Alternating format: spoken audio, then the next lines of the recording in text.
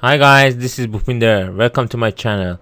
Today I want to show you how I fixed my computer from freezing uh, when you start your computer for the first time and it gets stuck on the window uh, page.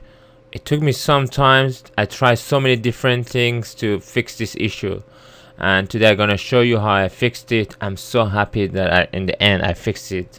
I'm so excited to share it with you guys. So all you got to do is to click on the start button in here and type control panel.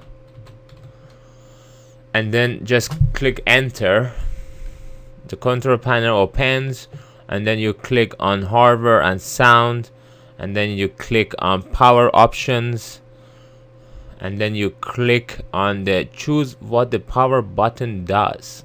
This is a tricky part man then in here you have to click on change settings that are currently unavailable. So you click on that because this is grayed out. Now it is not grayed out because you're administrator probably and it would show up.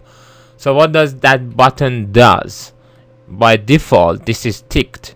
That means turn on fast start up and it is says it's recommended. But actually if you got an old PC like my PC and you upgrade it from Windows 7 or Windows 8 to Windows 10 you might some have some problems with Windows 10 and this could solve that problem. So all you got to do is untick this checkbox and you're good to go and then save your changes and it would fix your problem.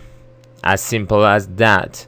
And if you have any other questions uh, please write it to my channel at the bottom of this video in the comments. You can follow me in Twitter and Facebook at Bhupinder Tube and once again thanks for watching and see you soon